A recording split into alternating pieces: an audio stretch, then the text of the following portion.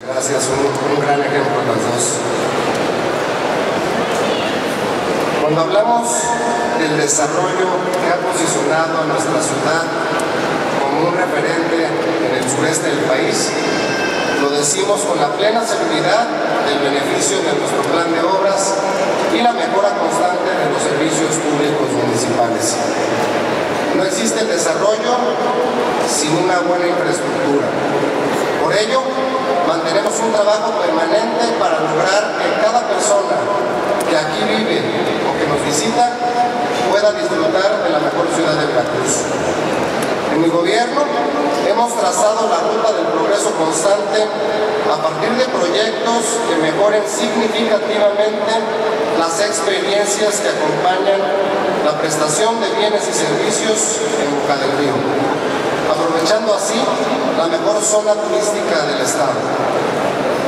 La misión de mi administración es lograr que cualquier persona, independientemente de dónde viva o por dónde transite, pueda gozar de los mejores servicios públicos sin importar su origen o destino, porque en Boca el desarrollo es parejo. En fraccionamientos, colonias, el trabajo de mantenimiento urbano, y seguridad trabajan de manera coordinada día y noche. Gracias a estos trabajos hemos logrado rehabilitar calles, avenidas y banquetas en toda la ciudad, logrando con ello una mejor infraestructura urbana. Es así que en estos dos años de gobierno hemos logrado pavimentar con concreto hidráulico muchas calles, calzadas y avenidas en las colonias y fraccionamientos Carranza, Miguel Alemán, Villarrica, Remes, Virginia, Costa Verde y cabecera municipal, solo por mencionar algunas. En estos momentos estamos trabajando en la colonia Río Jamapa, donde se rehabilitan casi un kilómetro de drenaje y la red de agua potable de la calle Independencia, con una inversión superior a los 6.5 millones de pesos. En la misma avenida se está realizando una pavimentación en concreto hidráulico con una inversión de 7 millones de pesos que beneficiará a las más de 5.000 personas que circulan diariamente por esta importante vía de comunicación. En la colonia Primero de Mayo Sur estamos rehabilitando el drenaje, la red de agua potable y el pavimento hidráulico de la calle Heriberto Jara, que cuenta con 700 metros lineales de tubería, 1.400 metros lineales de particiones y 10.000 metros cuadrados de concreto entre calle y banquetas.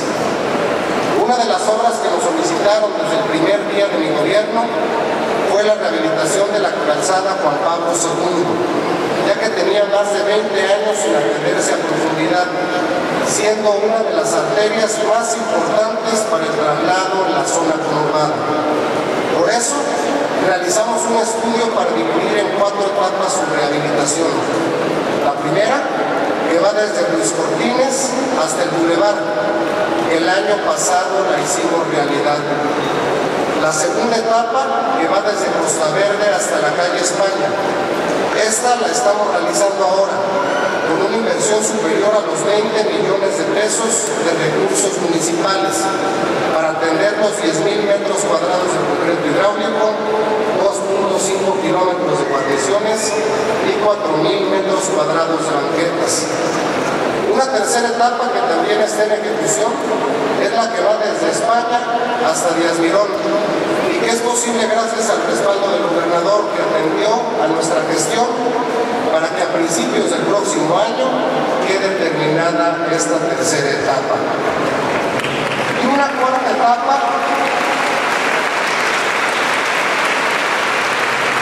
una cuarta etapa que va de Ávila Camacho a Costa Verde la estaremos arrancando con recursos propios el próximo año para que así quede totalmente nueva la calzada Juan Pablo II con todos sus servicios.